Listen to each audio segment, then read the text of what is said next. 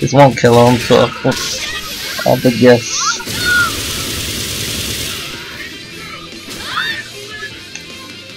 And I guess right. Who's a god? Like, who's a god? Tell me. These stream monsters and are